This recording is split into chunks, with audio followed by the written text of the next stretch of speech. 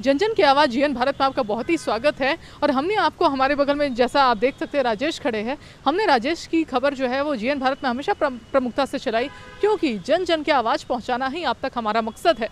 बताते चले कि इनको अभी कुछ दिन पहले हमने ये खबर दिखाई थी कि बहुत बड़ी जीत मिल गई, अपॉइंटमेंट लेटर मिल गया है, यूनिवर्सिटी गए, और जब वो यहाँ से वो लेटर लेके यूनिवर्सिटी गए, आपको बता दें, राजभवन की तरफ़ से वो लेटर मिला था, और ये कहा गया था कि आप इस लेटर को जाइए, आपको शिक्षक के रूप में आपकी नियुक्ति हो जाएगी।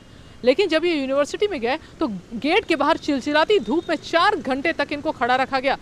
अंदर नहीं जाने दिया गया। वाइस चांसलर भी इनसे मुलाकात नहीं किया साथ ही इनको पकड़ कर न जाने कहाँ दूर ले जाया गया और धक्के मार कर निकाला गया। क्या कुछ पूरा घटना था हम राजेश जी से जानने की कोशिश करेंगे। राजेश जी जब यहाँ आप लेटर लेके जब वहाँ गए तब वहाँ पे क्या हुआ? अ, मैं लेटर लेके जैसे ही विश्वविद्यालय पहुँचा मुझे विश्वविद्यालय के गेट के बाहर ही रखा। अ, मुझे परमिशन आगे जाने का नहीं दिया गया। जैसे पहले होते आ रहा था वैसे ही फिर से दोबारा मुझे मेरे साथ हुआ। अ, मुझे अंदर नहीं जाने दिया गया और धूप बहुत चिलचिलाती धूप थी।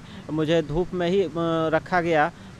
उसके बाद चार घंटा बाद में मुझे बोला गया कि आप एक लेटर लिखिए। और लेटर लिखने के बाद मैं प्रोक्टर के नाम से मैंने लेटर लिखा और लेटर जमा जमा करने के लिए मुझे गार्ड को ही देना पड़ा और गार्ड ने लेके लेटर गया अंदर और वहाँ से वे बोले कि आज अब भेंट नहीं हो सकता है। मैं वापस जाने लगा और बहुत दूर जाने के बाद पीछे से पुलिस की गाड़ी गई और पुलिस की गाड़ी मुझे विश्वविद्यालय पहुँचाया ले जाके। लेकिन पाँच मिनट के लिए सिर्फ़ यह मैं बोल पाया कि मेरा लेटर का क्या हुआ।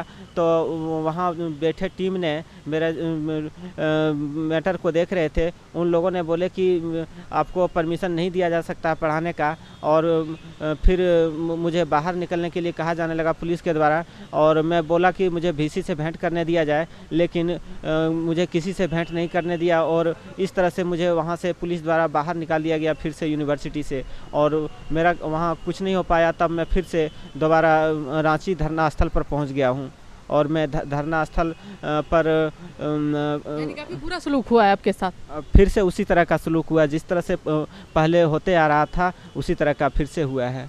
और अब आप सर अब अब आप क्या करिएगा? क्योंकि अब तो आप फिर से यहाँ पे बैठ गए हैं। राज्यपाल से क्या कहिएगा? राजभवन क्या कहना अ, मैं अ, मुझे उम्मीद है न्याय का उम्मीद है इस जगह से मुझे उम्मीद अ, मिल सकता है। मैं इसीलिए दोबारा आया हूँ और आपको नहीं लगता लेटर देकर एक बड़ा धोखा हुआ आपके साथ? देखिए ले, लेटर जिस पदाधिकारी ने मुझे दिया उन्होंने मेरे अच्छे के लिए दिया। ये यूनिवर्सिटी को कंसिडर करना था ध्यान देना था।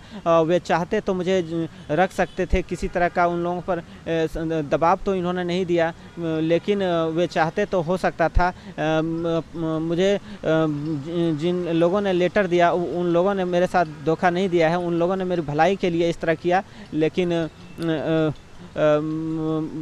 विश्वविद्यालय को ये चीज़ संज्ञान में लेना चाहिए। उन लोगों ने नहीं लिया। विश्वविद्यालय का कहना है कि आपने यूनिवर्सिटी को राष्ट्रीय स्तर पर बदनाम कर रहे हैं इसलिए आपके साथ आपको अंदर नहीं आने दिया, जा रहा है। कैसे राष्ट्रीय स्तर पर आप कैसे बदनाम करें यूनिवर्सिटी को? यदि मैं राष्ट्रीय स्तर पर विश्वविद्यालय को बदनाम कर रहा हूँ तो तो क्या इतने बड़े संस्थान को कोई बदनाम कर सकता है? यदि बदनाम कर सकता है तो क्या उस पर कोई कार्रवाई नहीं हो सकता है क्या?